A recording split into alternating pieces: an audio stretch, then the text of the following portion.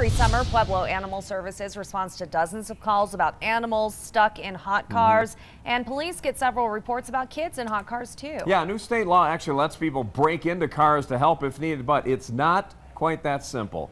News 5's Allison Zimmerman joins us live in Pueblo to explain what to do when you see somebody in trouble.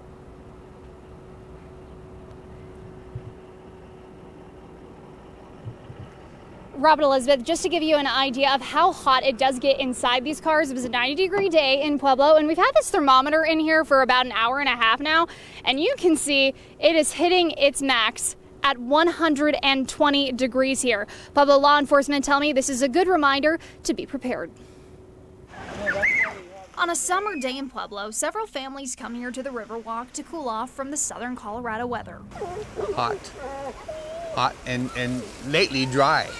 Too hot is uh, 94, 95, somewhere in there. And when it's hot out here, At 95 degrees outside, it can get to about 115 degrees inside of a vehicle within about 10 minutes. And still, people year after year leave their pets and kids inside hot cars. I think it's criminal.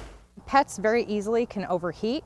Um, they have very few outlets to cool their bodies down. And with young kids, it can be deadly. Um, you know, it's, it's dangerous. I mean, uh, we have to have fire rescue there. They have to treat the children or the animals. Last year, Colorado lawmakers approved a bill that would make it legal to break into a car to save an animal or a child. Well, sort of. There are some things you'll need to do before you just smash in a window. Um, first of all, make sure that the vehicle's locked and they can't get in.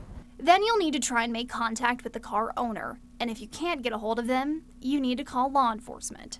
Not only are we able to provide education to those pet owners, um, but you know there are times where we have to you know step in and take enforcement action. Here in Pueblo, police and animal shelter officers get lots of calls about this during the summer months. Just this morning, we had three calls come in in two hours. But the best way to avoid any of this is to watch out for your pets and kids before you head out on your summer adventures.